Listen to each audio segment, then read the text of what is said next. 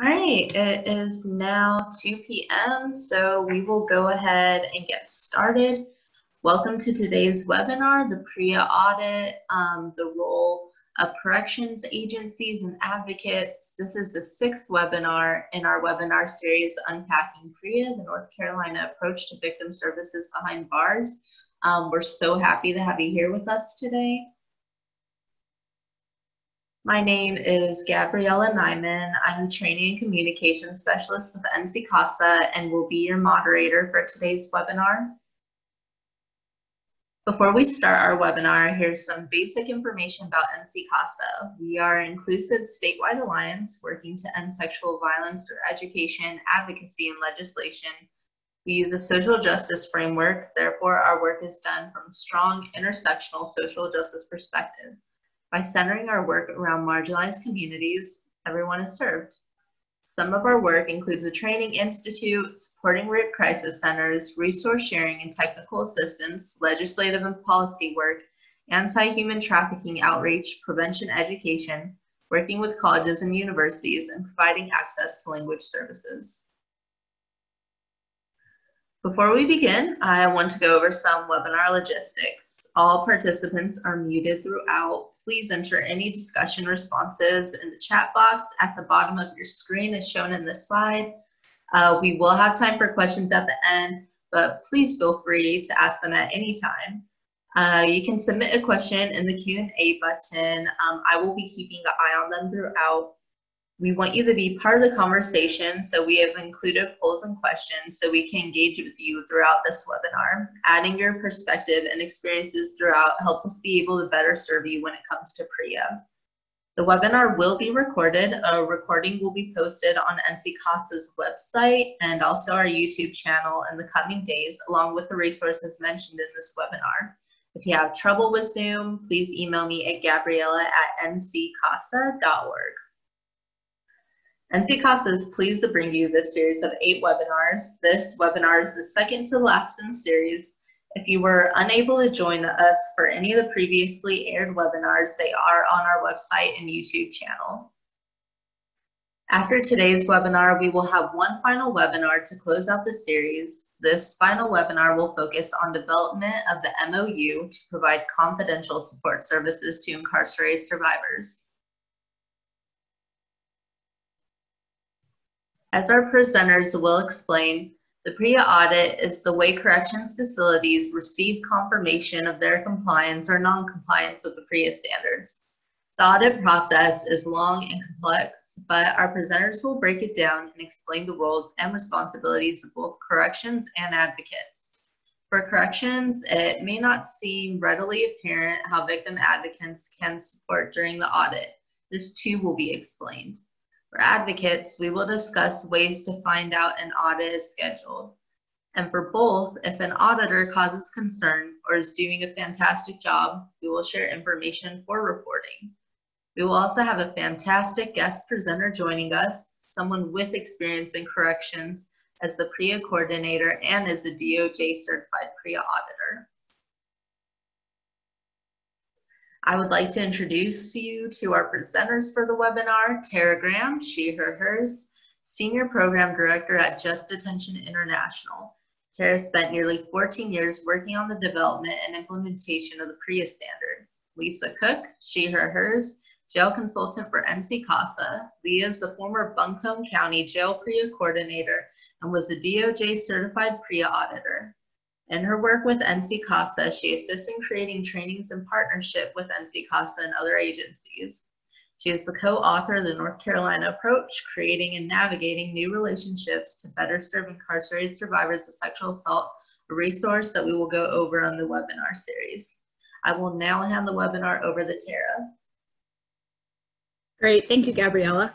Um, as always, it's been a it's a pleasure to join you all today. I know in looking at the attendee list, there are some familiar names.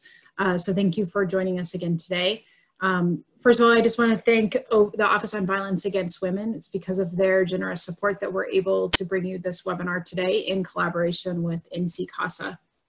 Um, and for those of you that are new to joining us today, Just Detention International, or JDI, is a health and human rights organization that seeks to end sexual abuse in all forms of detention. Um, and we do this a variety of different ways. One, we partner with corrections officials, rape crisis advocates, and policymakers to make facilities safe. Um, we work on changing uh, the public attitude around people who are in confinement and about their right to be safe from sexual abuse. And we also support incarcerated survivors of sexual abuse and sexual harassment. And JDI, at the end of it, our core principle is a belief that no matter what crime a person may have committed, that rape is not part of the penalty.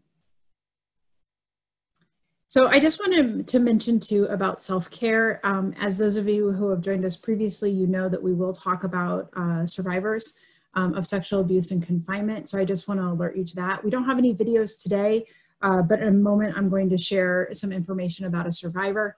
Um, so just take care of yourself. If you need to step away, please do so. Um, like Gabriella mentioned, the, all of the webinars will be posted to NC CASA's webinar, so you can always um, catch up um, at a later time. Um, so to get things started, let's do a quick get to know you. Um, like Gabriella said, we can use both the chat box or we can do polls on the webinar. And so we first wanna just make sure everyone knows where the chat box is. Um, and so tell us who's joining us today. Um, tell us your name and where you work.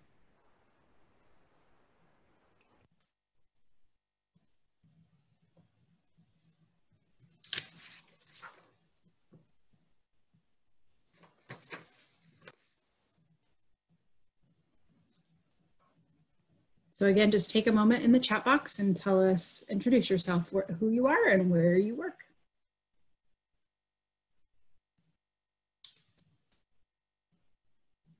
Great, we have Megan from Families Living uh, Violence Free in Oxford. Rosemary from Alliance Against Intoxicated Motorists. Deanna Harrington from NC CASA. Uh, someone from the South Carolina, Carolina Coalition Against Domestic Violence, Domestic Violence and Sexual Assault. Um, Taniqua from the PREA unit with the Department of Juvenile Justice in Richmond, Virginia. Wonderful to have you, Taniqua. Uh, Tierney uh, from the U.S. Army in Illinois. Wow, thank you for joining us all this way. That's great. Uh, Barbara from a resource advocate from a safe home for everyone in Ashe County. Madison also from a safe home for, or from a safe home from everyone also. Uh, Nisi from Family Crisis Council in Salisbury, North Carolina. Great, and I know we ha also have some staff from NC CASA that are joining us. Um, thank you for giving that introduction to yourselves in the chat as well. Um, oh, and Lisa, who's the PREA Compliance Manager with Virginia DJJ. Lisa, it's a pleasure to have you with us today. Um, later on, we'll be talking with uh, Lawanda Long, who is actually the PREA coordinator for Virginia DJJ. So it's nice to have some of her colleagues joining us as well. Great, thank you everyone. Um, oops, and so now we wanna try out the poll. So Lisa's gonna launch a poll um, and it's gonna, it's, the question is about your experience with the PREA audit. So if you've been part of a PREA audit with your facility, if you're from corrections, um, if you've been part of the PREA audit as an advocate, um, if you know about this thing called the PREA audit, but you don't have any experience, or for some of this, for some of you, this may be learning about the audit for the first time. So just take a minute and you can click on your screen um, your response.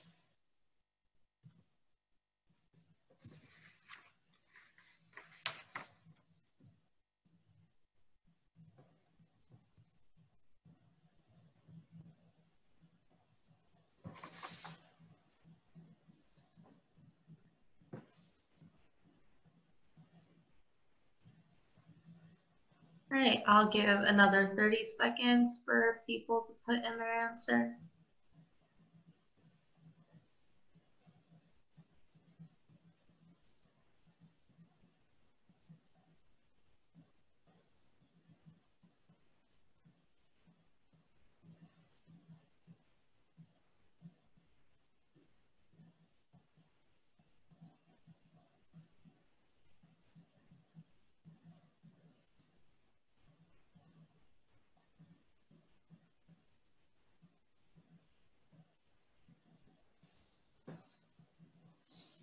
All right, so it looks like, um, what is your experience with PREA audited? Uh, I have been part of a PREA audit with my facility, 21%.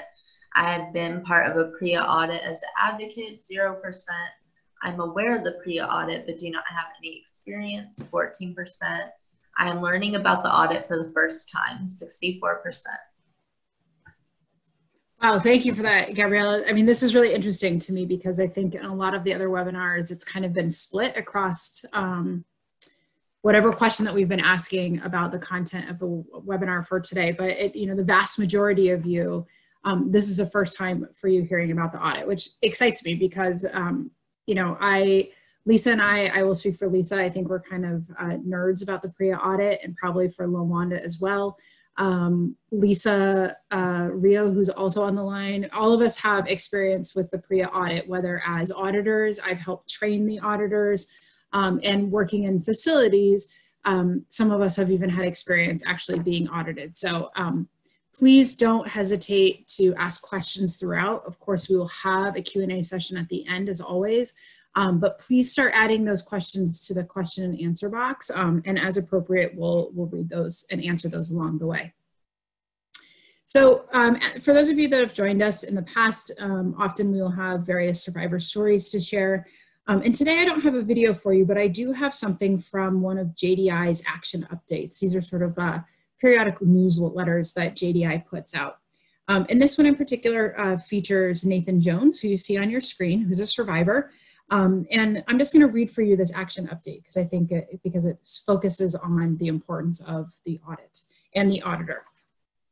So the, the title of the action update was, with strong prison audits, prisoners will finally be heard.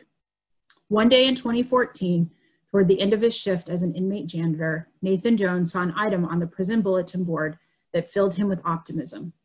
It was a notice explaining that his Wyoming prison would soon be audited on its efforts to keep inmates safe from sexual abuse. Any prisoner could meet with the auditor and their conversations would be kept confidential. Several of Nathan's friends at the prison were being abused, and none felt comfortable speaking out. A few years earlier, Nathan himself had been sexually assaulted by a staff member while at a different facility. Nathan arranged to speak with the auditor and felt hopeful that the meeting would help put a stop to the rampant sexual assaults and harassment. Quote, I believe that this was my chance finally to have my voice heard, he recalled. But Nathan never got that chance. His meeting with the auditor was not held somewhere private, but in a room adjacent to the associate warden's office. The door to the room was left wide open, and staff were within earshot of everything that was said, so Nathan kept quiet. Nathan's experience is not uncommon. JDI has learned of many instances of auditors who failed to conduct robust, robust oversight and who left prisoners in danger. In response, JDI helped pass the Parole Commission Extension Act, a law that calls on auditors to adhere to strict guidelines on how to do proper assessments, including conducting interviews in a safe space where inmates can freely discuss their experiences at and perspectives of the facility. Nathan, who was released in 2016 and recently joined JDI Survivor Council, is confident that the new law will make a difference. When I was locked up, I was denied the chance to speak openly with someone who had the ability to make my life and the lives of others better. But that's going to change, and I'm thrilled. End quote. With that, I'll hand things over to Lisa, who will, to, will introduce uh, information about the audit. Lisa? Thank you, Tara, and thanks everyone again for joining us this afternoon. So I want to begin talking about the PREA audit process. The audit itself is a mechanism that's really created so facilities can demonstrate their compliance with the standards. And I really encourage you to read the 400 series in the PREA standards that describes the requirements of the PREA audit and the roles and responsibilities of the auditors and the facilities that are being audited. At the end of our webinar, we're going to have several audit related resources. So make sure that you guys take a look at those. One of those is the auditor handbook that provides guidance to auditors on really what they should be doing out in the field. It's based on the intent of the standards and it goes into great detail about all of the PREA audit that we'll highlight today. So the big picture overview that we're looking at really is that all PREA standards apply to confinement facilities, uh, prisons, jails, juvenile detention, lockups, and community confinement. Every corrections um, entity. They also are subject to the audit itself. The standard 11593 audits of standards says that the agency shall conduct audits pursuant to the 400 series that I mentioned earlier. This means that no matter if the facility is fully compliant, they're doing everything um, that they think the standards imply, if they have not uh, completed an audit successfully, then they really aren't PREA compliant. The audits run on a three year cycle. It means that over those three years, and all of an agent's facilities, so in the case of North Carolina DPS, all the prisons and juvenile facilities, um, community corrections, drug treatment facilities, they all have to be audited within that three year span. And each type of facility, there must be one third of that type. So a third of those juvenile facilities, a third of adult prisons, a third of the treatment facilities have to be audited that first year, then the second third, then the third final piece of that audit. So in this case, we're going to talk about jails, where most counties only have one jail per county. So they don't operate multiple facilities. So that means they only get audited every three years, once every three years. So the reality, not all facilities are uh, that are subject to the standards are, are being audited. Um, we really don't have, uh, the vast majority of our jails in North Carolina haven't been audited. So what do we do then? Well, the fact of the matter, there's only one tangible penalty for states at the state level um, whose facilities fall under the governor's operational control, meaning that the state run facilities, those prisons and everything I mentioned earlier, um, the governor every year must submit a letter to the DOJ that their facilities are compliant or not compliant but working on it, or not compliant at all and not working on it. If the governor submit that they uh, have audits and are reporting that, then those compliant states aren't going to face a penalty. But the states that are working on it have to use 5% of specific federal criminal justice funds earmarked for PREA implementation. And those states that say they aren't in compliance and don't plan on uh, getting it will lose that 5% altogether. So as of January 2020, 19 states said they were compliant, 32 gave assurances, said that they were working on it, and five said they uh, weren't compliant and they weren't working on it at all.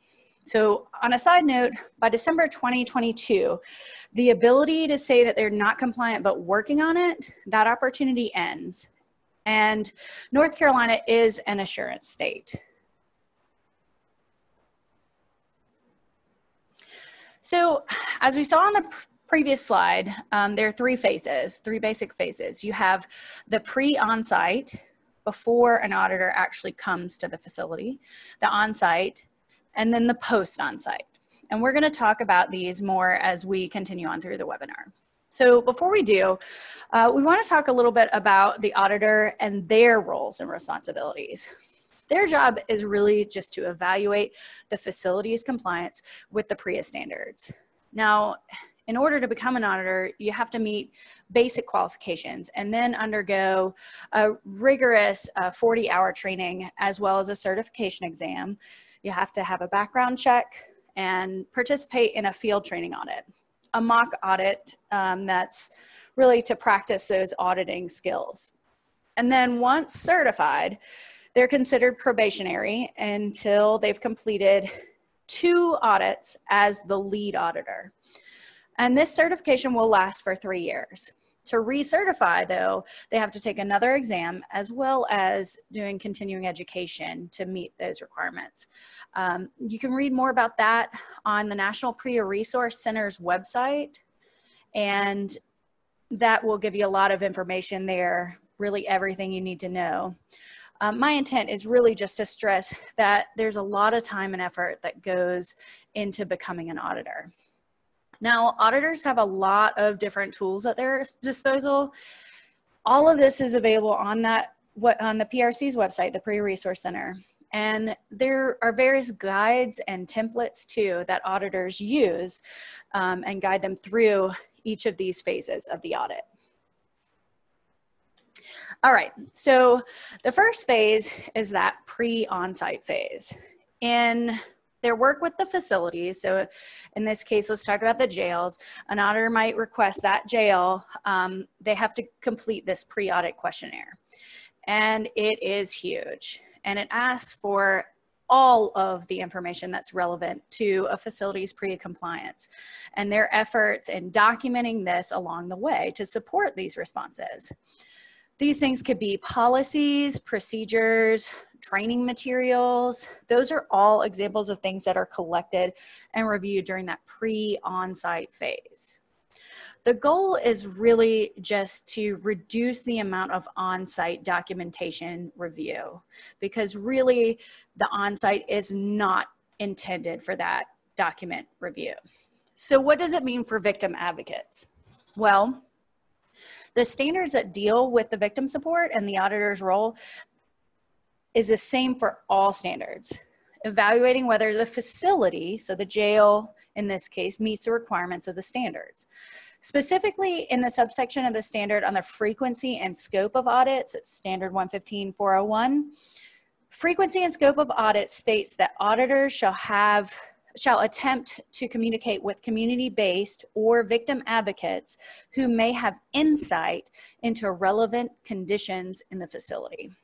So auditors are really trained to reach out on their own and aren't reliant on the audited facility, so that jail, to reach out on your behalf.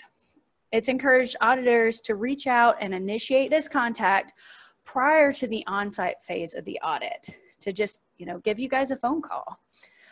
Unfortunately, JDI and NC CASA hears from many advocates in the field that they're not being contacted about that local facilities audit and really learning only after the fact.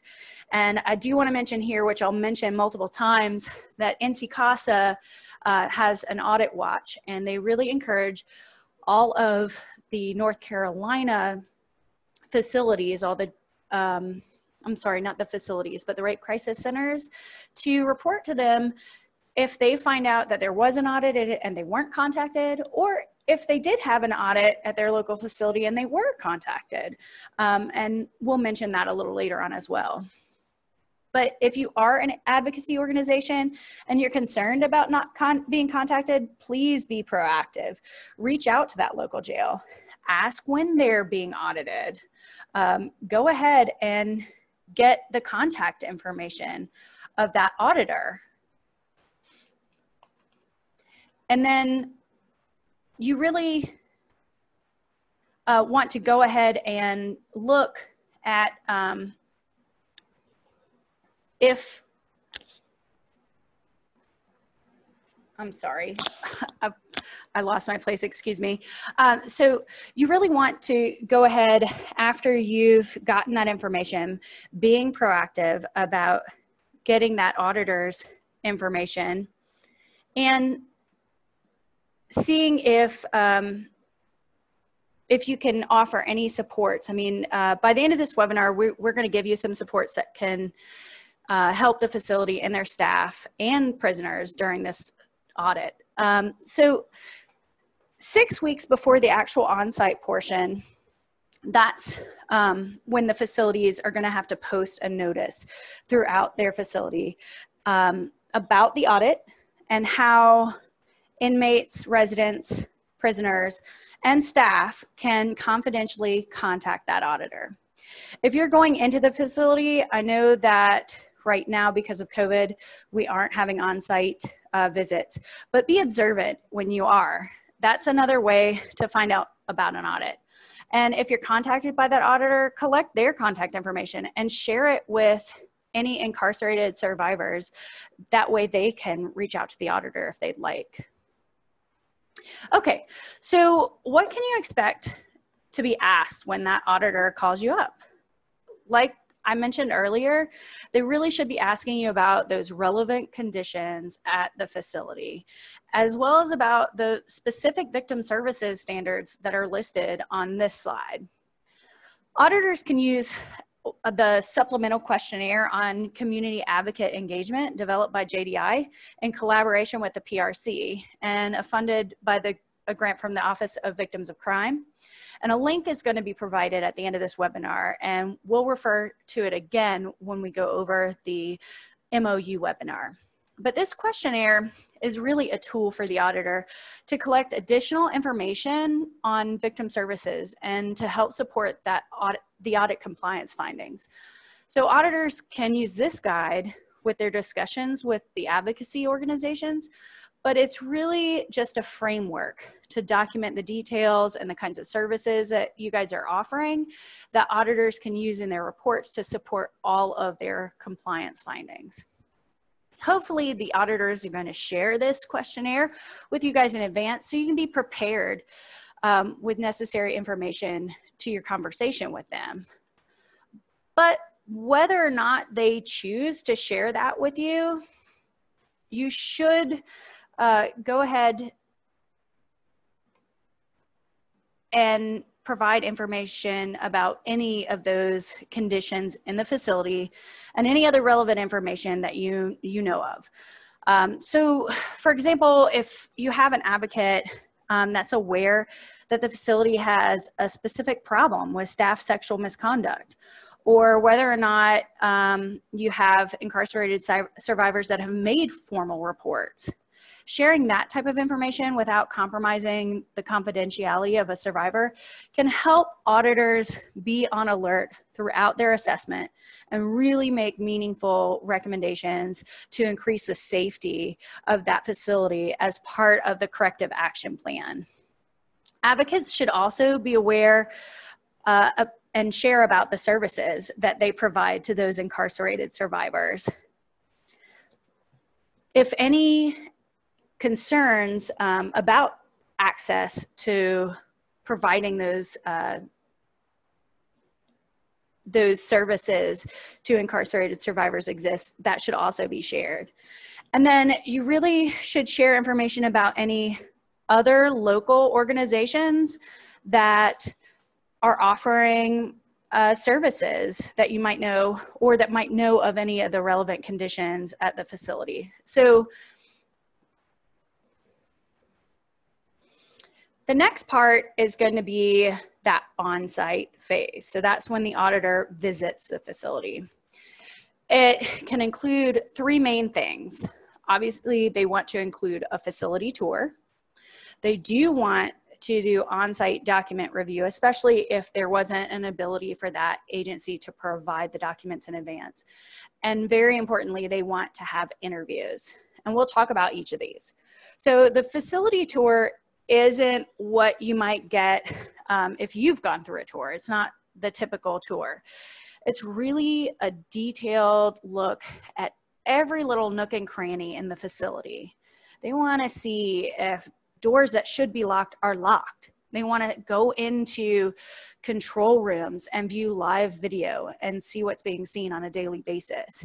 It includes going to every housing unit, even if they're all the same and laid out the same. And it takes a lot of time, especially for larger facilities. It could take the entire day or even days. Now, the second portion is document review.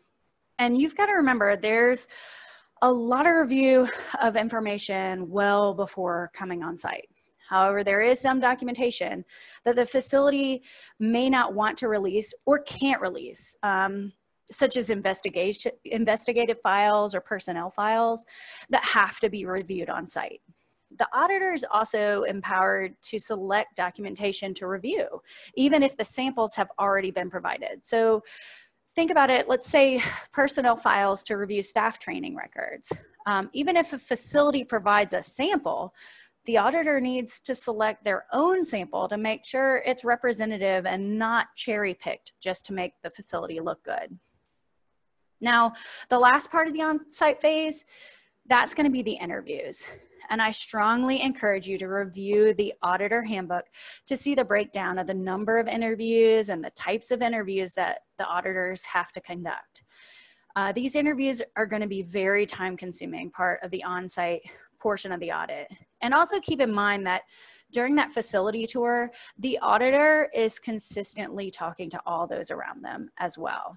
So who is interviewed? Well, first of all, there are going to be specific staff based on their roles and responsibilities, such as a warden or an agency head, uh, the PREA compliance officer, classification staff, and many more.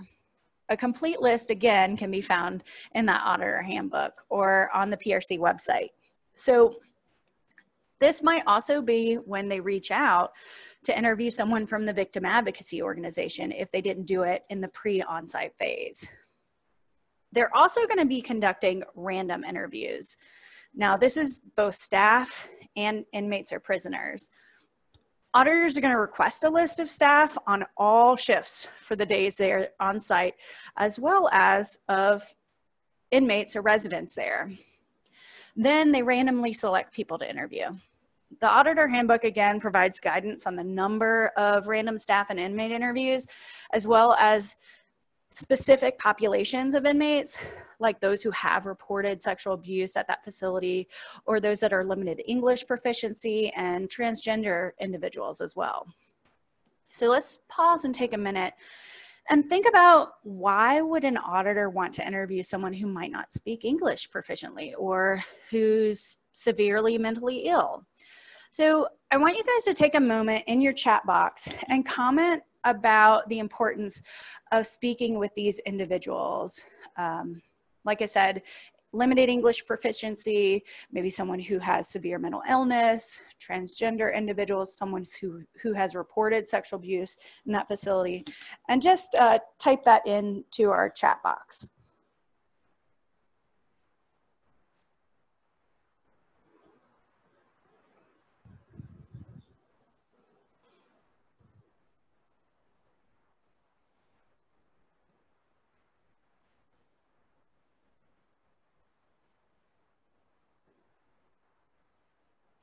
All right, don't be shy, guys. I don't want to give you all the answers. All right, to gain honest feedback of fair and equal treatment despite the differences in language or abilities. Yeah, very good. Um, or lack thereof. Yeah, that's right. And also to check to see if they have a system in place to communicate with that individual um, especially if it's someone who's limited English proficiency. Maybe it's someone who's deaf and needs an interpreter. Um, yeah. It's important to speak with these individuals to make sure that they are being properly educated in a manner that they understand. Very good, yeah. And that they are receiving material in a way that they can understand. Yes, that is very important. Very important. If inmates really don't understand PREA and the information that they're given, how to report, you know, being the primary information there, they're really not going to be able to. All right, and we know that in the outside of prison population, marginalized populations are also vulnerable to sexual assault and not receiving support that they need following an assault it makes sense that the incarcerated population might have similar disparities and to make sure that they are receiving support applicable to them and their needs. Very good. Yes, that is definitely all those are really great answers. And it's true. And we've talked about those special populations in our previous webinars. And, you know, the auditor needs to, to make sure that they're receiving the services that the standards intend to be provided. So thank you guys for sharing that. Um, auditors receive training on conducting interviews and they do have interview protocols that give them a sample of the kinds of questions they should ask to inform the determinations of compliance. But it's important to know that auditors, for the most part, are quite often from corrections, and most do not have background providing services to trauma survivors. So while the auditor's questions focus on the PREA standards, interviews can be difficult for survivors and for staff. So auditors are focusing on the processes the facility has in place to prevent, detect, and respond to sexual abuse and sexual harassment. But just the fact that these reasons for the questions are sexual abuse and, and sexual harassment can really be triggering for someone, staff and prisoners. So, no matter when they may have experienced sexual abuse in their past, they really could use support. So, unless a prisoner who has previously reported sexual abuse in the facility, auditors, auditors won't know if the person has a history of sexual abuse. And we all know that it may not be that person's history, but it could be someone close to them as well. So, auditors are expected to make sure that there's someone the prisoners can talk to for emotional support following that interview. And this may be facility mental health, but it's really a perfect opportunity for a community victim advocate to support survivors and even staff there. While it's not required, auditors are encouraged to have support services available for staff as well. So, as victims advocates, you can really proactively offer to be available to any staff or inmates that may need to talk with someone following that interview. Not only will it support these people, but it's also going to lessen the burden on the facility's mental health staff that for jails locally is really already overburdened. So now let's talk about the final phase of the audit period. It's the post-audit phase. So the pre-audit intended is intended to be exhaustive. Uh, facilities have to demonstrate compliance with all the standards, which means all provisions. And like we said, even if one provision is not met, the facility will be found not in compliance. So as the audit was being developed, the DOJ really listened uh, to others and specialists and, and experts um, and prisons and jails and other facilities during um,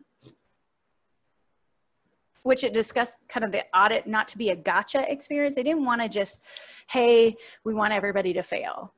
Um, they really wanted to give them opportunities so that the facility can be a sexually safe environment. Um, and they didn't want it to just check off boxes like many other audits that facilities have. So following that on-site portion of the audit, that auditor is going to have to synthesize all of this data they've collected to make their determination of compliance. And that's provision by provision. So every standard has, for the most part, has multiple provisions. Sometimes auditors have additional questions and they have to be able to reach out to various people for these answers. And it might include victims advocates if there's a question about support services.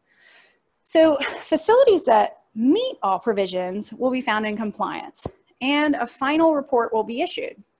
The audit is over and the facility has three years until their next audit. When we're talking about uh, jails specifically, these North Carolina jails, they'll have three more years.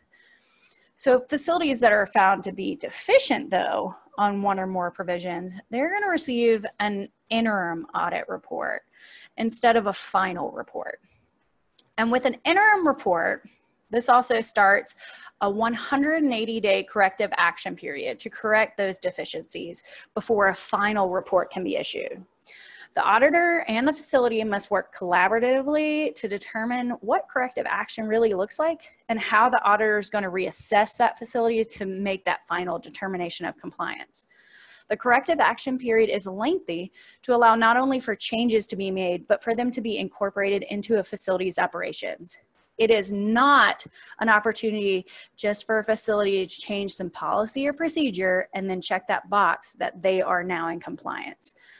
So following the corrective action period, which can be less than 180 days if the auditor deems a facility has met compliance before then, and then a final report is issued. That final report must include any corrective action that was taken. And all reports must be posted to the agency website for the public to review. So great. Thank you, Lisa, for going over all of that.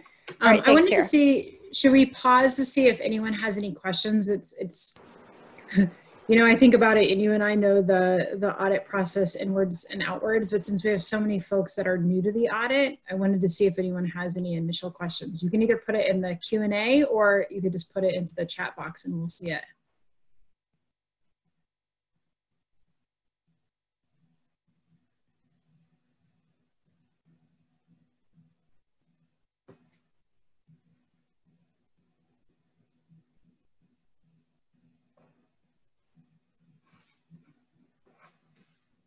Okay, well, if it, if a question does come up, I haven't seen anything, uh, you know, don't hesitate to go ahead and put it in the Q and A or in the chat box and we'll, we'll see that and address it either in the moment or at the end of the session.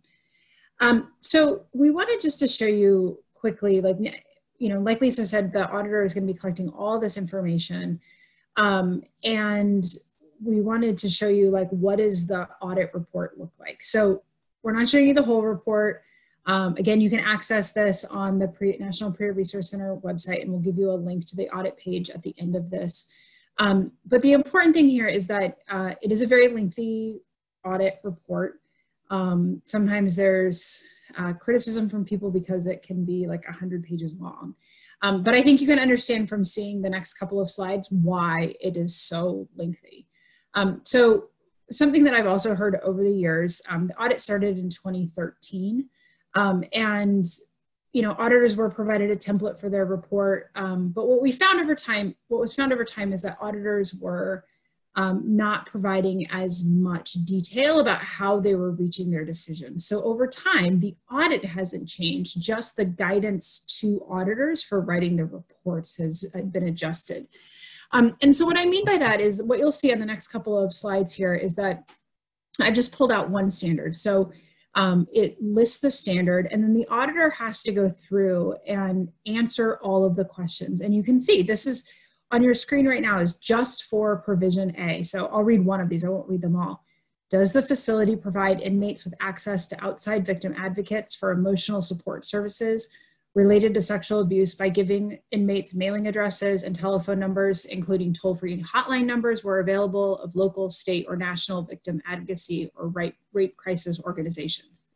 So that's a lot, right? But that is one part of this standard. All of these questions they have to answer come directly from the requirements of the standards. So the auditor has to check yes or no. Um, and so again, this happens for all of the provisions. Um, let's go then, we'll go to the next slide here and you'll see that again, this standard has three provisions, A, B, and C. So there are similar kinds of questions for all of those, right? So already you can see how this is a very lengthy um, uh, report. And then based on that, you know, if there's been any no's checked, um, well, let me say this, the auditor has to then make a determination of compliance. So they have to say that the facility uh, exceeds the standard, meets the standard, or does not meet the standard. And so if if everything is checked yes, that they have all the things that are required, then the facility meets the standard. Um, if there's something that indicates that the um, facility has gone above and beyond, and we'll talk about some examples of what that might look like, um, the auditor can indicate that they have exceeded the standard. But if there's any uh, no that is mentioned, then they do not meet the standard. And that's where that corrective action is going to come into play. So not only do they have to like check those boxes yes, no, and make a determination of compliance. They then have to provide a narrative for every standard um, about all the evidence that they use. So all of the documentation, all of the interviews, what they observed on their facility tour, um, synthesizing that or the language they use with the auditors is triangulating that.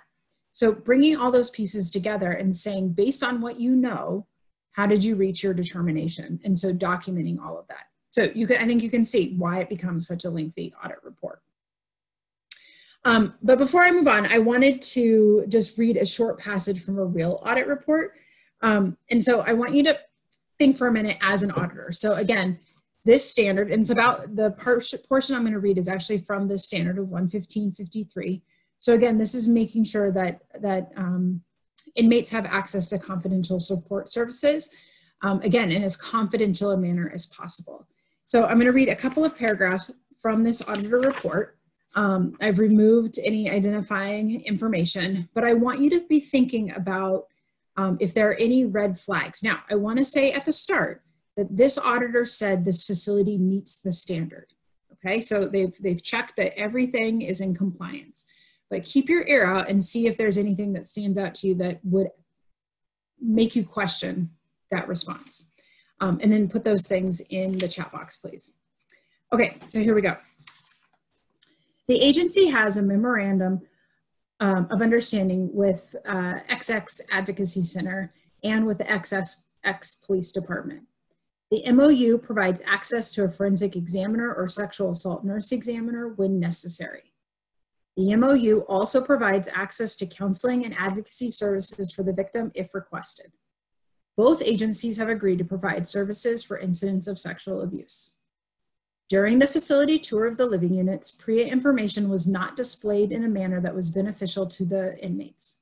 The small size of the posters, the random placement of the posters, and the lack of immediate PREA education, and the lack of advocate and support services phone numbers, hotline numbers, or addresses of these facilities were not in areas that are accessible to the inmates. 15 prisoners were interviewed and nine were unaware of the advocacy services, the meaning of the posters, and their right to call or write to the advocacy center. Prisoners were not aware of how, to how the reporting process worked and what information would be reported or who the information would be reported to. So again, take a moment and just jot in the chat box if there was anything that you heard that makes you think that actually they did not meet the standard.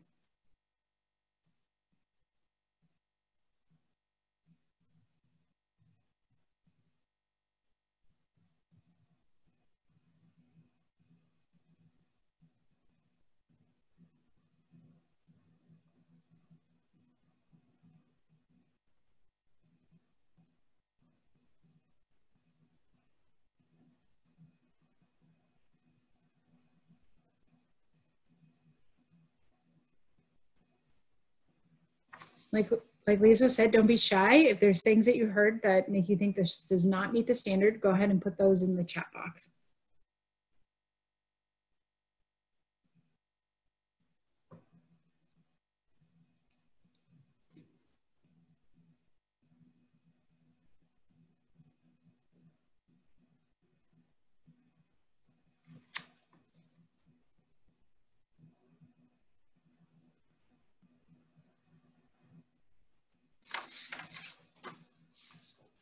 Okay, well, well, hearing nothing, if you still have ideas, please go ahead and put them put that in there. Um, first of all, good things that are in this audit report. There is an memorandum, memorandum of understanding, which, you know, we'll talk about the MOU next week. Um, a, SANE uh, nurse is available um, if necessary. Um, and there's also advocacy and counseling services for the victim if that's requested. So that's all great. Um, and the, both agencies have agreed to provide services. So that's fantastic. The concerning parts of this report are that um, PREA information wasn't displayed in a way that people could easily see it. Um, there wasn't a lot of information about PREA generally, and the information about how to contact an advocate um, were not in areas that prisoners could see them. So that's definitely concerning, right? Like they're not going to be able to ask for services if they don't know how to do it. Um, and then there were a total of 15 people that prisoners that were interviewed and nine. So more than half of them didn't even know that there were advocacy services. Again probably because those posters weren't hung in a place where anyone could see them. Um, and they didn't understand that they had a right to those services they had a right to confidential support services.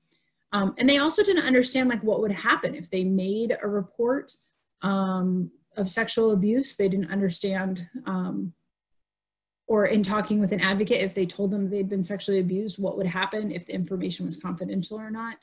Um, so there were a lot of concerning things there. And so we'll talk in a little bit about um, about if you if you ever are in a um, come to find out that there's something that maybe an auditor made found a facility to be in compliance when they really shouldn't have been or if there were other issues with the audit itself. Um, but before we do that let's um, well, I guess we're going to do it now. Sorry, I thought it was after our interview, but we'll get to the interview in just a moment.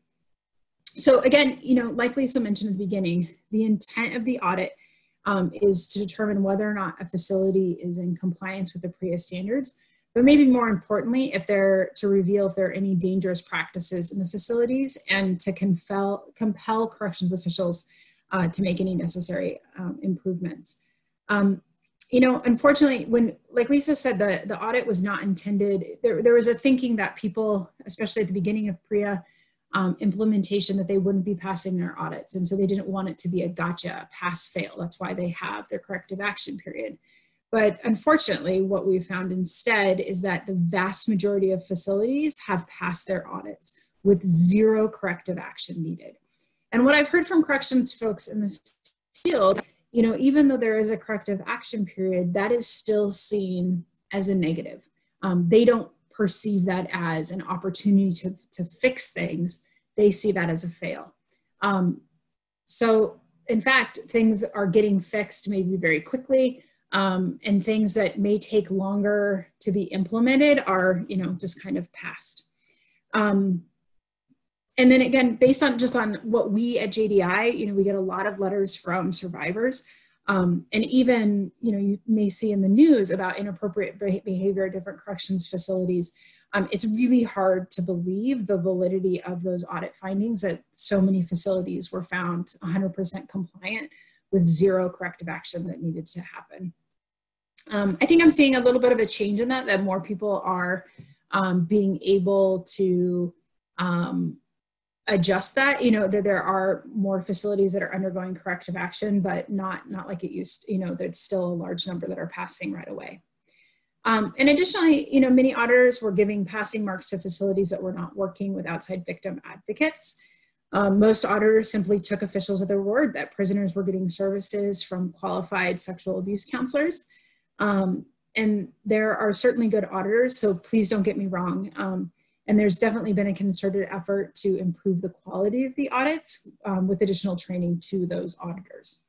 Um, but if an auditor does something that concerns you, it's really important that you let the Department of Justice know. Um, this can include reporting auditors who do not contact you as advocates to inquire about services um, that may be provide that you may be providing to incarcerated survivors. DOJ wants this feedback, good and bad, about the auditors. So as you can see on your screen, there's a couple of different things that you can do. Um, the first is the auditor feedback form. Um, and again, this is a place where if you have an auditor who does an amazing job, let them know too. If there's a if there is an audit that is concerning, please report that as well. Um, again, that's a it's a form that you fill out on the National PREA Resource Center's website, and that information is then funneled back to the Department of Justice. Um, within the Department of Justice, there is the PREA Management Office or the PMO. Um, just know that there's only four people that do this and they have a tremendous amount of work. Um, so you probably won't get, you may not get a response from them or a very speedy response if you do.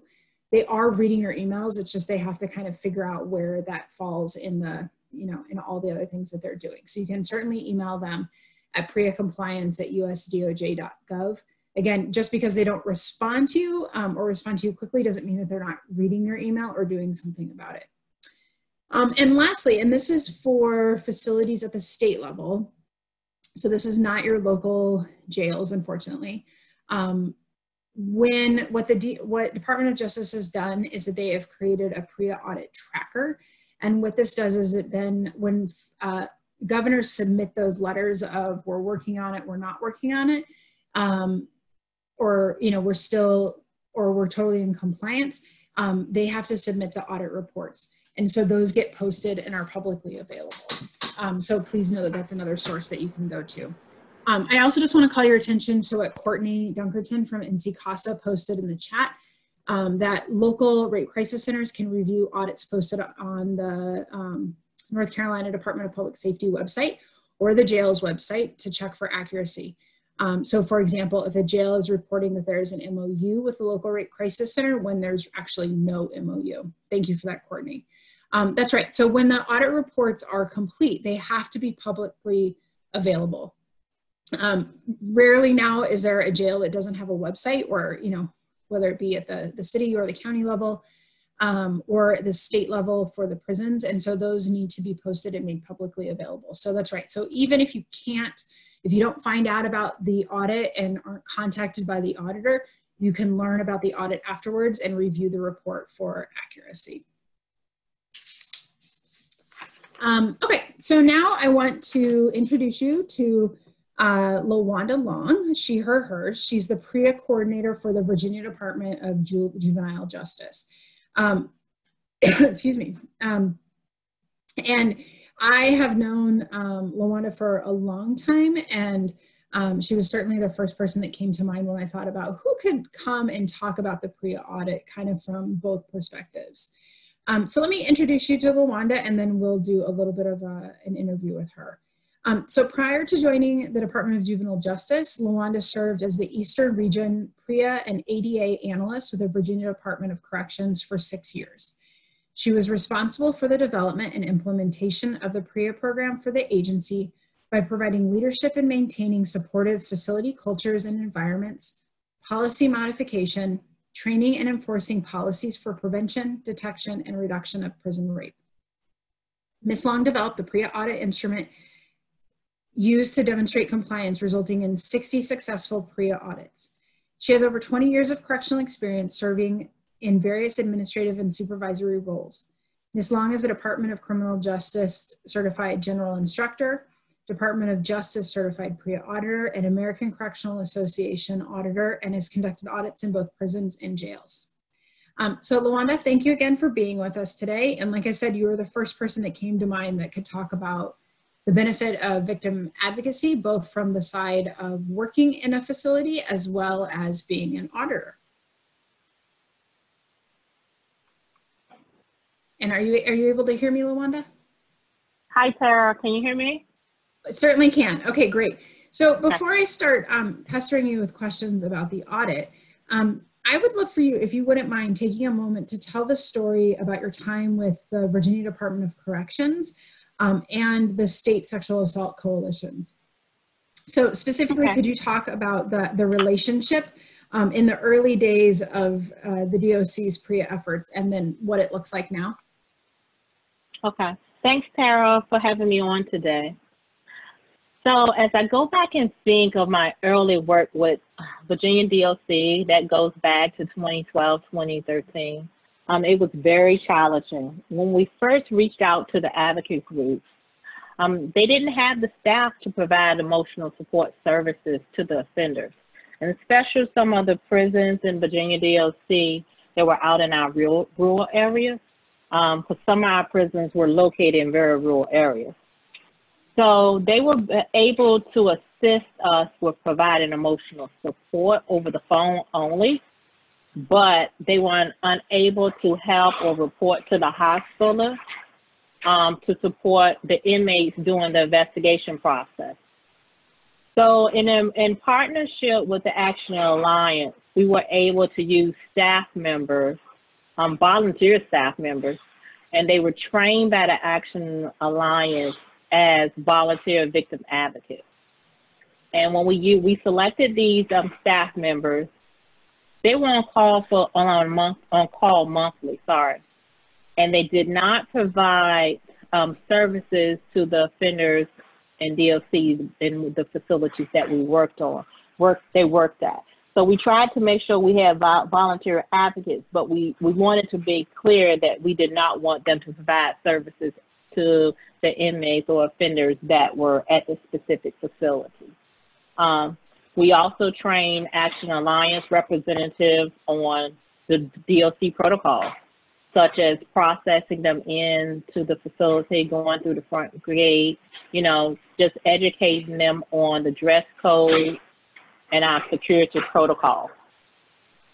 As years passed, and I want to say early in 2018, DOC was able to fully transition to the Action Alliance for all of its emotional support, um, to include the prison and hospital.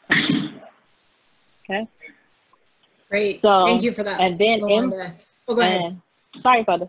And then in my role with, I'm just trying to capture all of the components. In my role with the PREA coordinator at D- DJJ, upon joining that team, they already had a partnership with YWCA in Richmond for emotional support and hospital accompaniment. Um, and that has been a great partnership. Um, with in DJJ, the residents can either seek emotional support um, by the phone system, where we have have a connection where they use it, the resident phone system. Um, they use the same phone system to report to us, but as well as they hit option two on the pound five five, and it goes directly to the Greater Richmond hotline where they're connected to a emotional support advocate. And then they can also write. And if they write the the YWC or the advocate, um, the director is in direct contact with me, and we see what the best way it is. It was the best way for the residents to receive the services they requested, whether it be through phone, whether it be visiting the facility. So we kind of talk those processes out. Great, thank you for that, LaWanda. And I think what's important too is for folks in the webinar, these webinars have mainly focused on adult facilities and specifically working with jails. And LaWanda, as her with her work in a juvenile facility, as we mentioned on last week's webinar, there are definitely different considerations when involved when youth are involved. Um, and so that's why it does take a little bit. Sometimes there'll be different kinds of um, discussions and negotiations about making sure juveniles can have access to those services. Um, LaWanda, now that you're a DOJ certified auditor, and I say that like it happened yesterday, but it's been for a long, long time now that you've been certified. Um, could you talk a little bit about how that training kind of changed your perspective on um, PREA compliance and just, can you talk a little bit about what PREA compliance looks like, um, how that may have changed what you think about day to day in terms of compliance? Yeah, so it seemed like, uh, yes, so I think I was in the very second, the second class, um, and became a PREA auditor.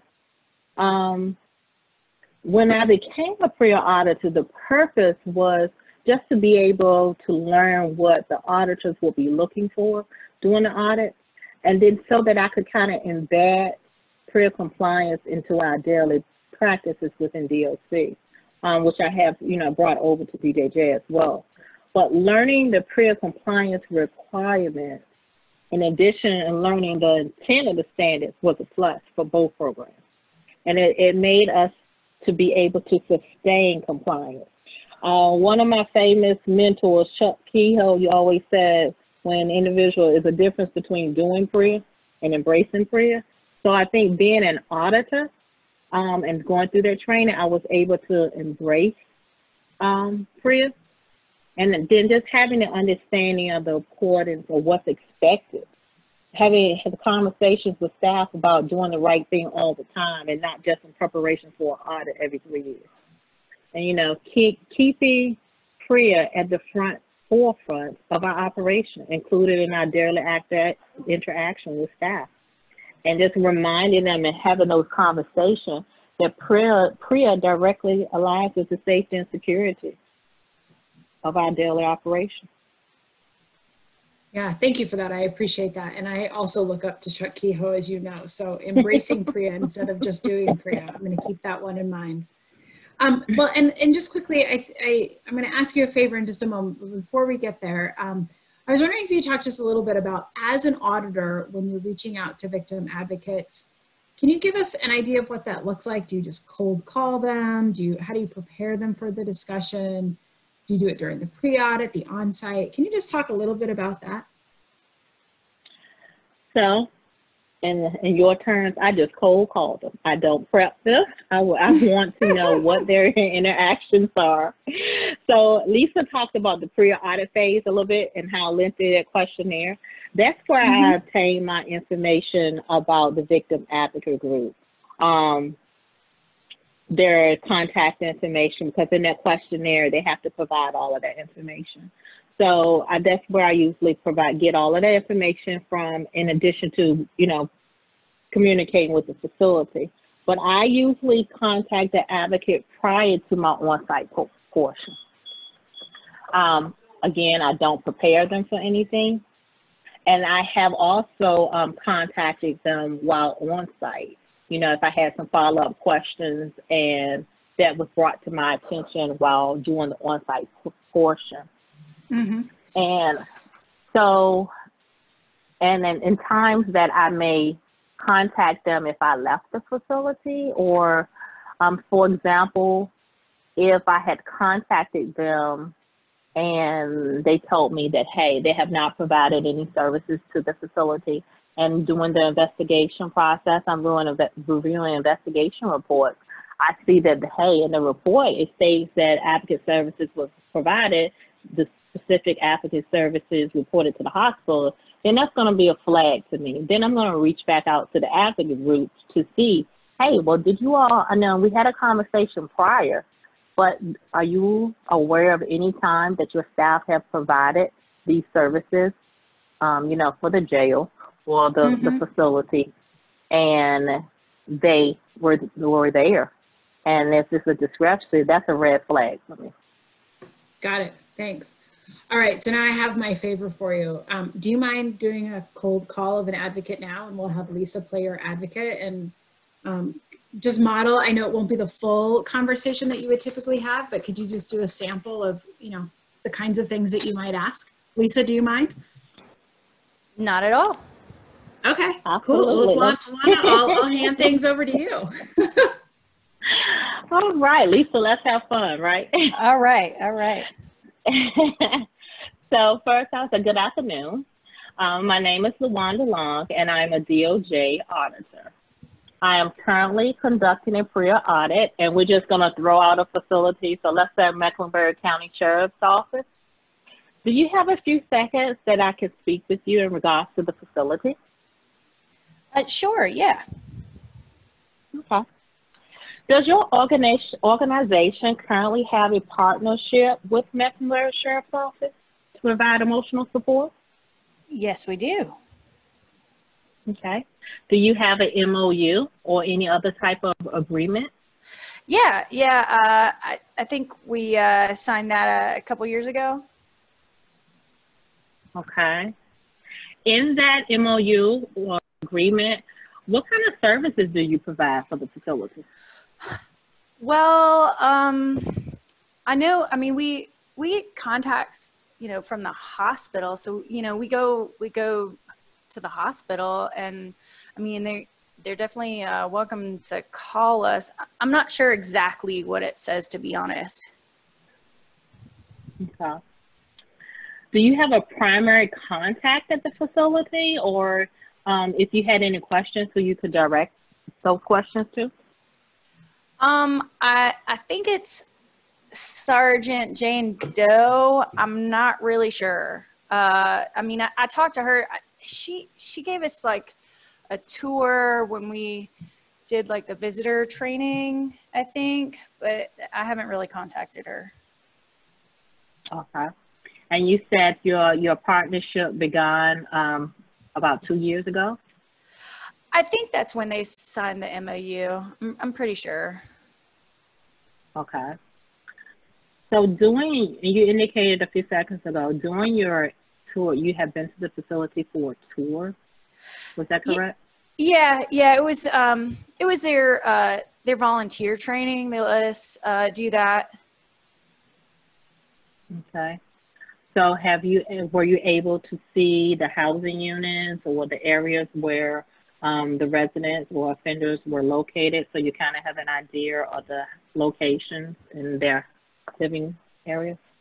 Um, they they showed us a, a couple spots um, in that newer side. Uh, we didn't really see the whole thing. It was it was kind of short, and most of the, the information was really given in a classroom. Okay. Do you have any relevant information or anything, any information that you would like to um, communicate or share with me about Mecklenburg County, Mecklenburg Sheriff's Office um, as related to sexual abuse, sexual harassment? Do you have any, um, with receiving any calls from them? Um, do you have any anything that you'd like to share? Yeah, uh, we have provided services to individuals, um, to survivors there, uh, some of which have, you know, just transferred through. Um, and some of it, you know, was uh, for previous victimization, not not like stuff that happened in the jail. Okay. So do you get a sense of when, you know, do you do receive calls? Um, is it a safe environment? You know, I'm I'm not really sure. There's a lot of noise in the background, and then one of the one of the inmates said something about you know having to pay for a call, and then some one time we got this collect call, and we we just can't accept those collect calls to our office. It's just really not what we can do. Okay.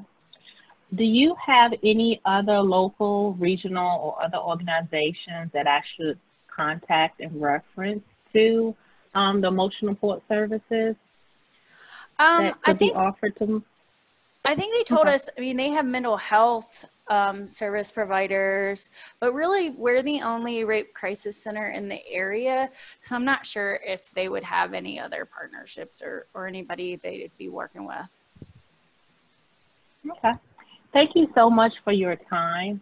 And please feel, and I will be glad to give you my phone number if you need to contact me with if any other relevant information comes to mind.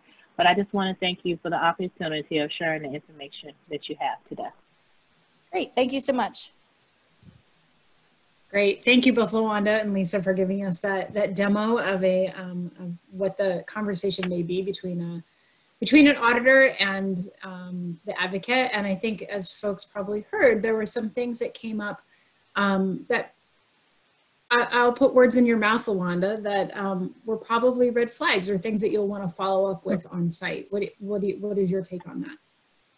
Abs- absolutely, because my takeaway from that interview or, or as an auditor would be that additional training is needed um, regarding the services that they provide um, and just some more interaction um, with the agencies because um, it's re- there were red flags that additional conversations need to be had. Wonderful. Well, LaWanda, thank you again for joining us today. Um, of course, if you're able to hang out and you know join us for Q and A at the end, we'd love to have you. Um, but again, thank you as always for being part of today's webinar. You're welcome. Thank you for having me. Thanks. Um, and Lisa, I'll hand things over to you.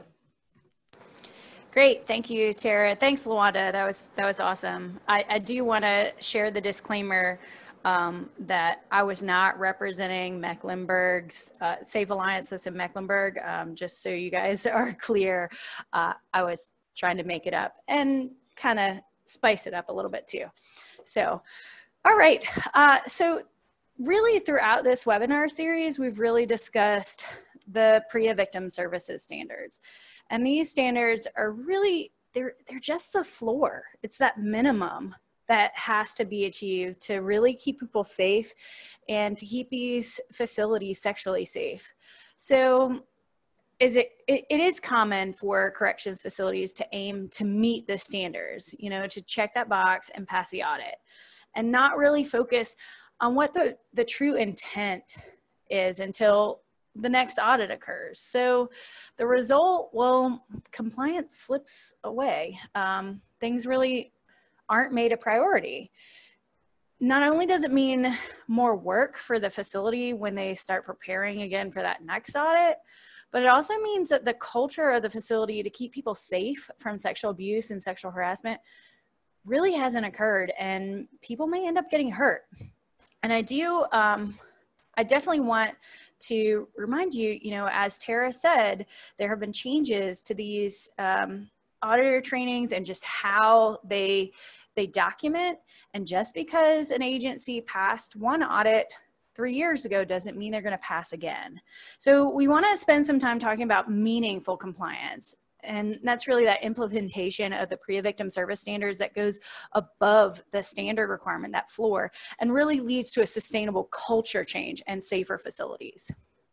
So what's really meaningful impl implementation? So let's really review previously discussed um, standards here. So for, for victim services. So why does PREA even address the issue of victim services? Well, the most obvious reason for providing access to survivor support that's crucial to address trauma of a sexual abuse and the lasting effects on survivors. But the purpose and intended benefit of this of these standards really is to extend even beyond the individual survivor. It's really to ensure support for prisoners who are experience who experience sexual abuse and will increase the likelihood that survivors will report sexual abuse before or during or after accessing these support services and will help develop a reporting culture in that facility. So it can also lead to a safer, calmer environment for staff and other inmates where everyone knows that all reports of sexual abuse and sexual harassment are going to be taken seriously and handled in a way that's really victim centered. So these the benefits of uh, support services provided to survivors really can't be emphasized enough. Access to support helps these survivors process and understand the assault and deal with its impact, regardless of whether the assault occurred within the facility or prior to incarceration. And the be benefits continue to accrue even after someone is released from custody. In the preamble to the PREA standards, the Department of Justice recognized that prisoners who receive proper support services will even enhance their ability to reintegrate into the community and maintain stable employment upon their release from prison. So providing support to sexual abuse survivors also benefits the facility as a whole.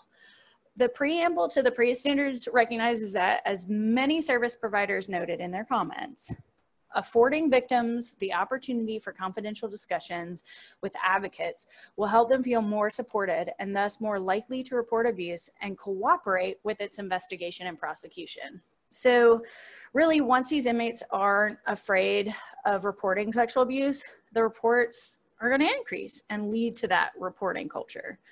So, the benefits are really twofold. Well, first, facilities, these, these agencies, they can't address things that they don't know about.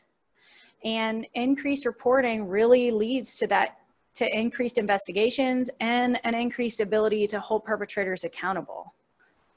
And then second, when a facility has a reporting culture, perpetrators will know they can't be guaranteed that protection of a victim's expected silence.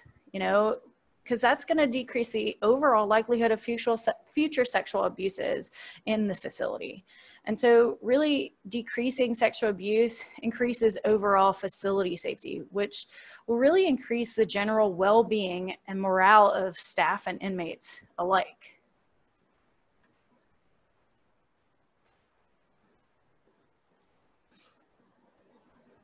All right, so Let's quickly review those uh, victim services standards.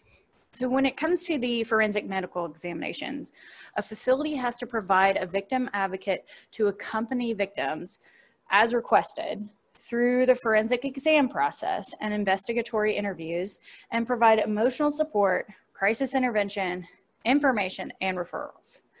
Now, of course, survivors don't have to say they want these services, but a facility has to make them available.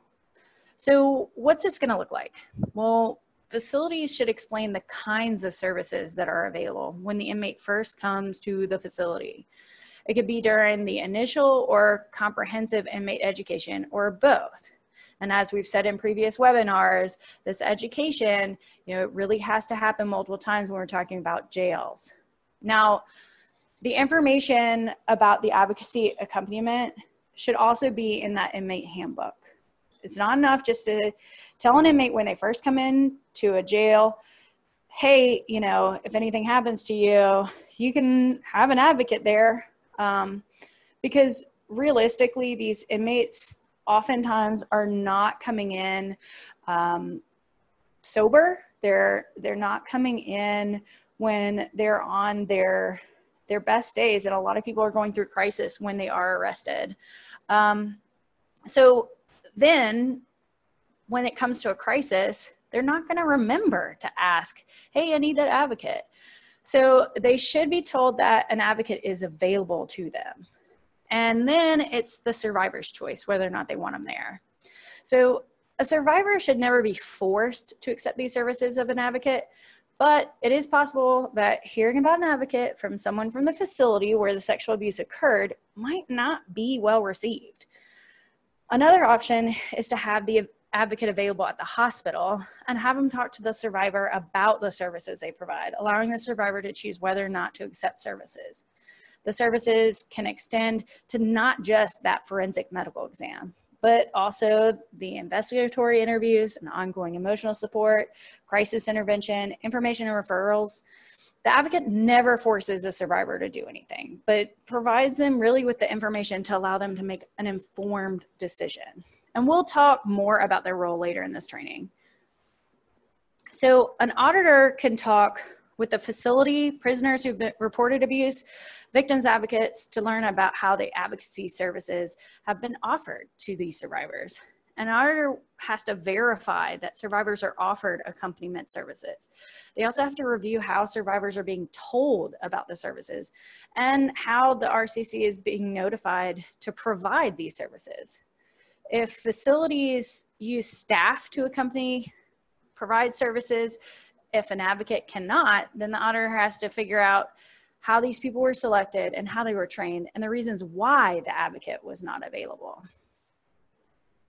So auditors also want to learn about the ways confidential support services are provided and how inmates access those. So in order to comply with standard 11553, agencies must provide access to outside victim services for emotional support services provided either by telephone or mail or both. So remember these services have to be made to all the inmates who have experienced sexual abuse, no matter where it happened and no matter when it happened in their lives. This includes people who are sexually abused as children or adults in the community, not just in confinement. Detention facilities have to make a good faith effort to enter into an agreement or an MOU with the advocacy organization to provide these services. In some cases, victim service organizations, they tell them they, they can't sign an agreement because corrections officials were making unreasonable demands such as insisting that advocates share survivors' confidential information with the facility staff. In other cases, an MOU was signed, but never contacted the organization again and failed to refer survivors to services or set up a way to provide access. And the auditor has to determine exactly what's happened. So services are to be provided in confidential manner as possible. This is a point where facilities and advocacy organizations really need to talk and make sure that both parties are in agreement about what confidential manner as possible means. It's critical that survivors be told the limits to the confidential to their confidentiality before initiation of services. So an additional component for an auditor's to evaluate is whether or not this facility enables reasonable communication between inmates and these support services. So what's that look like? Well, some examples could be inmates have phone access to services. This means they can use any phone used for any other purpose to access support services. If communication via letters occurs, it's making sure that these inmates are not limited in the length of the letters they send or receive from advocates. And as auditors, you have to really evaluate how inmates are provided access and whether or not they are real or perceived barriers to that access and if those inmates may not feel they can overcome them resulting in resources really just not being used Great, thank you, Lisa. And I recognize that we're close on time, but I just want to spend a couple of minutes, so I hope you can hang with me um, to talk about meaningful compliance. So when we talk about meaningful compliance, we mean that the responsibility of implementation isn't just a responsibility of one person, it's a responsibility of everyone at the facility. The, that means that the processes and procedures captured in the PREA standards are embedded in the facility operations. It's just how we do business. Um, and it's not being championed by or tied to, again, just any one, one individual at the facility, but really um, having a facility where there's an overall culture of safety. Um, and meaningful compliance means that a facility has established a sustainable and trusted system for survivor support that is likely to be used by the prisoners. Um, it's a facility that has meaning, meaningfully complied um, when the culture of the facility supports prisoners using these services. And this includes all staff and prisoners knowing what services are available and how to access them. Um, and it also requires a culture of acceptance um, that staff are proactively offering services to prisoners instead of just waiting for someone to ask. Um, and it would also be a facility that um, immediately replaces posters or notices that might get ripped down. Um, you know, again, in comparison, basic compliance would be a facility that has all the required services in place, um, but doesn't go above and beyond to make sure that the facility or that the services are well established. And the benefit of survivor support is completely dependent on whether or not uh, the services are actually being used. And certainly when supports are initially implemented, there may take a while for prisoners to gain trust in the system um, and they may be wary about whether or not they will receive reports or receive support or whether they'll be stigmatized for accessing services. Um, and we want them to, we want facilities to be looking at this process from a victim centric focus. That is how an inmate survivor would perceive the offered services. Um, and that is the basis really for determining meaningful compliance. So one of the ways uh, to ensure meaningful compliance um, is around staff, training for staff. And when staff both understand the need for the services and the benefits that the services provide, um, this can better ensure that survivors have access to the services going forward. Um, staff should be educated on the trauma of sexual abuse and how that impacts survivors um, and, and how that also may impact their behaviors.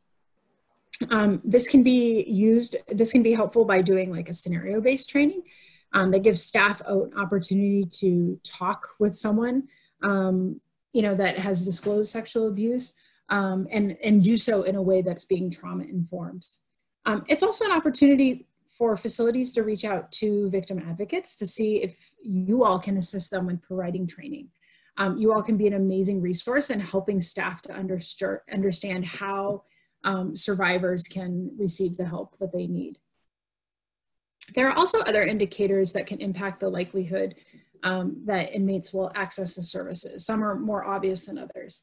So these are things for both uh, corrections officials and advocates to consider um, and discuss when you're figuring out how to provide services and to make sure that the people will actually use the services. So things like uh, words and language matter, right? So for example, consider signs or posters that are placed throughout the facility.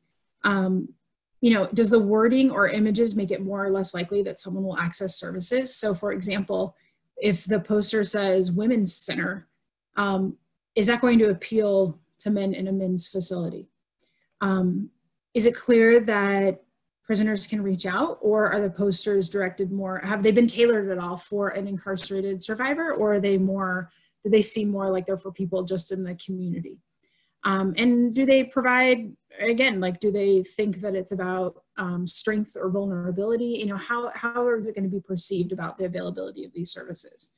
Um, so again, thinking about tailoring your services, especially tailoring them to the facility that you're working out, working at, um, that can be really helpful as well. Um, placement of signs matter, right? Um, we heard from that audit report that they were placed in places where people couldn't access them.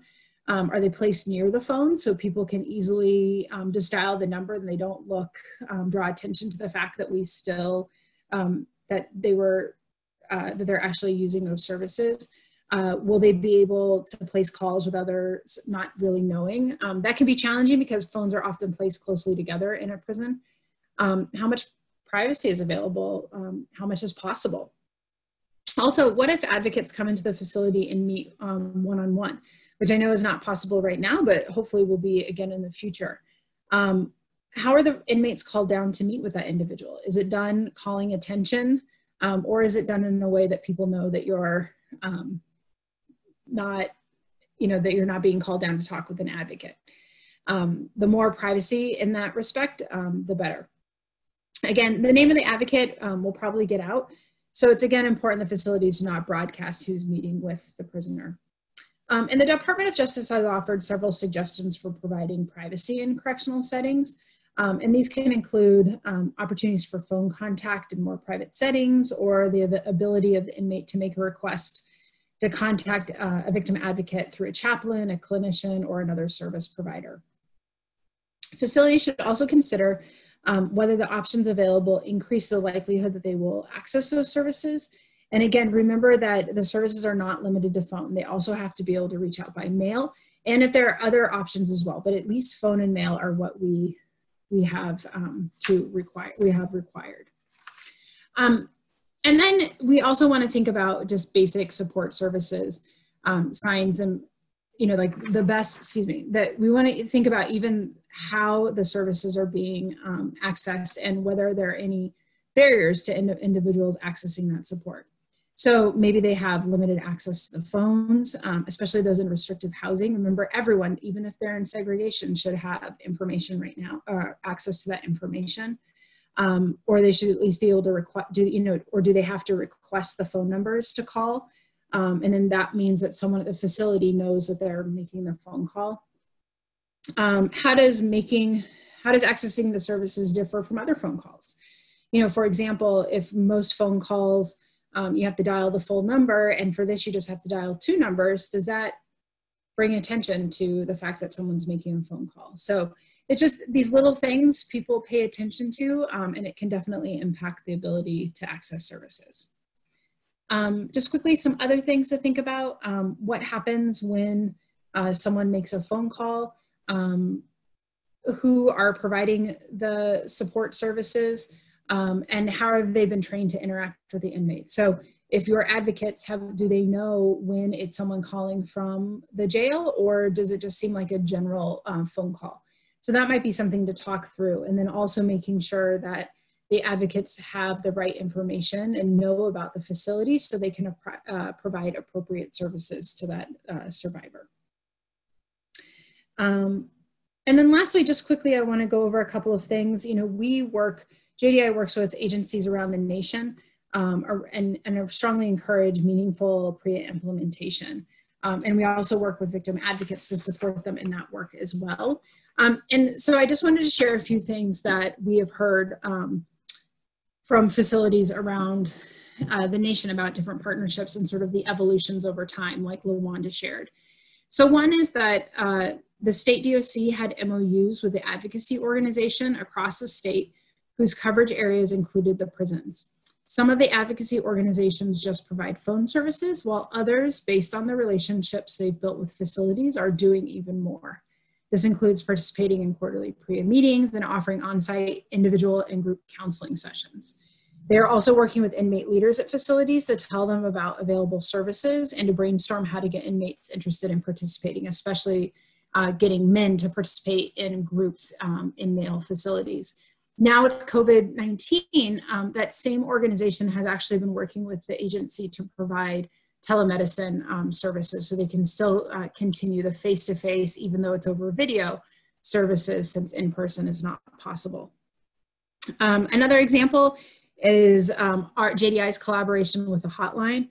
Again, it's to make sure that the inmates in Vermont and Michigan have access to confidential support services um, and that was, again, as a reminder, because of capacity limitations of the local rape crisis centers.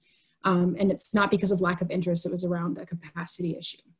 Um, and then just quickly, before we turn to your questions, one auditor told us about a situation where there were no support services being provided. Um, and so as this auditor spoke independently with both the facility and the advocacy organization, it was clear that it was really a result of miscommunication. So I kid you not, the auditor brought the two parties together and provided them information about what PREA required and left them in a, in a room alone for a few hours and said, work it out. Um, and this is definitely an extreme example and it's the only example like this I've ever heard.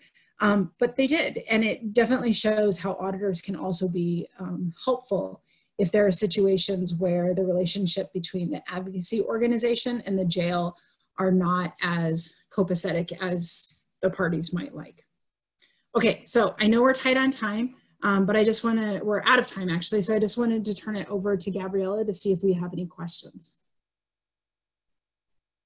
Yeah, so we'll go ahead and give a minute if you have any questions. Um, if any questions pop up at a later time, you can feel free to email uh, me at NCCASA through training at NCCASA. Um, we'll also show slides coming up of Tara and Lisa's information and also um, our PREA um, specialists at NCCASA, Courtney Dunkerton, and Robin Colbert. Um, so we'll show that information.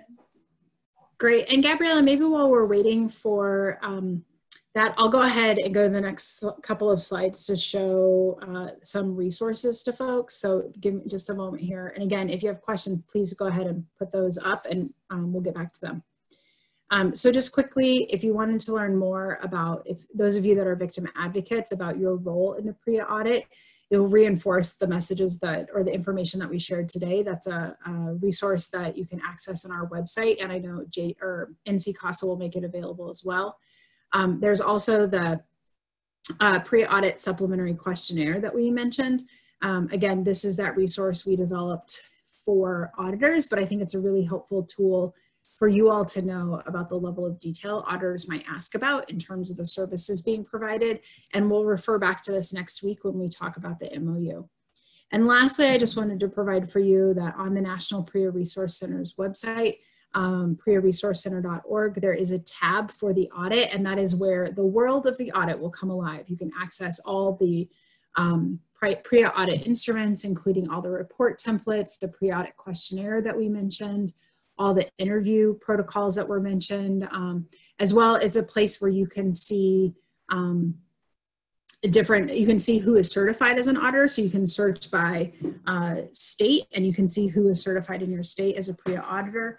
Um, so there's a lot of information that's available there. Um, and then we've shared this before, but we'll share it again and it will be on uh, NCCASA's website uh, but just also our contact information at JDI. So um, I know NCCASA is always available and willing and wanting to help advocates and jails um, in your partnerships. Uh, JDI is in the same boat. So you can always reach out to us. We do have uh, funds to support technical assistance. So those are requests that you can make. Um, and I'll go to our last slide here. Again, it's contact information for uh, Robin and Courtney at NCCASA, but I just wanted to throw it back to Gabriella to see if any questions have come through. So it doesn't look like we have any questions, but definitely feel free to reach out to Robin or Courtney. Um, and uh, just to wrap it up, we will be recording, well, we did record this and it will be up on our YouTube channel and up on our PREA page. Um, and we hope that everybody has a great day and that you join us for our final webinar next week. Bye, everyone.